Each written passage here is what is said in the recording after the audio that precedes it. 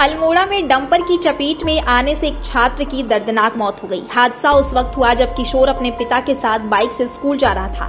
तभी पांडे खोला के पास तेज गति से आ रहे डंपर ने बाइक को टक्कर मार दी। टक्कर से छात्र सड़क पर गिर गया और सिर में गंभीर चोट लगने से उसकी मौके पर ही मौत हो गई। मामले में पुलिस ने कार्रवाई करते हुए डंपर चालक को गिरफ़्तार करने के साथ ही डंपर जब्त कर लिया है और आगे की कार्रवाई कर रही है।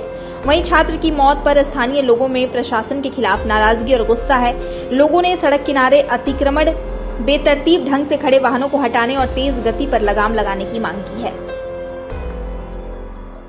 ये अभी मालूम चला है कि पांडे खोला में एक डंपर चालक और एक बाइक में एक्सीडेंट हुआ है, जिसमें कि एक किसी किशोर की मृत्यु हो गई है।